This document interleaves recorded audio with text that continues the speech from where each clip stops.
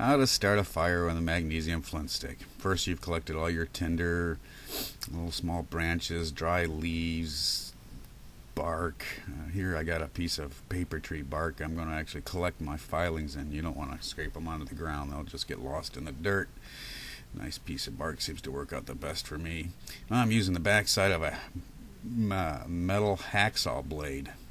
It's cut off about three inches long, and the back side of it is actually a nice square edge, and it shaves the magnesium rather well.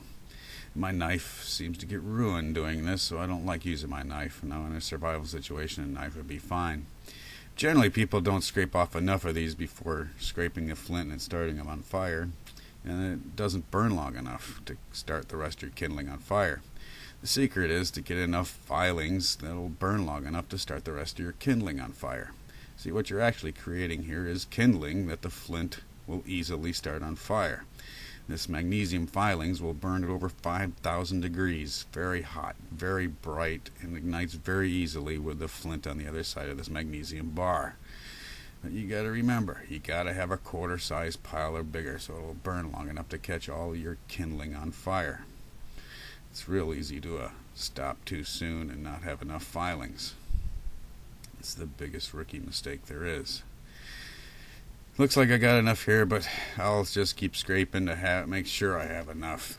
Now, before you've done all this, you've collected your brand, your little tiny twigs, your little pieces of uh, pine needles, your, your your bark, your dried leaves, anything that's super dry and will burn easily as kindling and tinder. You notice I'm getting pretty good sized pile here.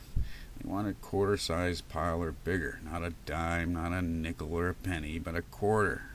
Come on, scrape them up.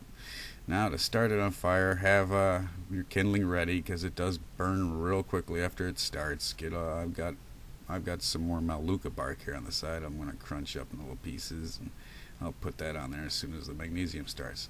Now don't strike your flint, scrape the flint watch. The magnesium will catch fire there. It burns really bright, really hot. Get your kindling in on there and use that flame to start the rest of your stuff on fire.